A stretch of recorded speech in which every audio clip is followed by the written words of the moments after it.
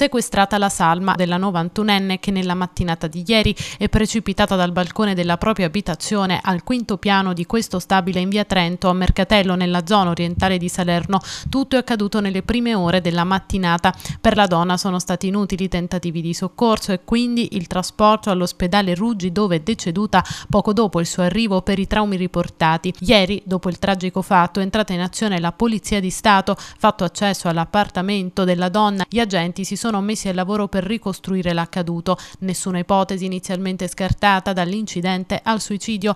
Gli agenti della Polizia di Stato di Salerno hanno provato a raccogliere nella casa dell'anziana più dettagli ed informazioni possibili, come detto, per cercare di capire che cosa sia accaduto. La donna viveva sola con una badante. Tra le ipotesi, quella dell'incidente sarebbe al momento la più plausibile e quindi una tragica fatalità. Ma cosa abbia determinato la caduta della donna è proprio su questo che si sta indagando, capire se ad esempio la 91enne possa aver accusato un malore oppure se si sia trattato di una fatale distrazione.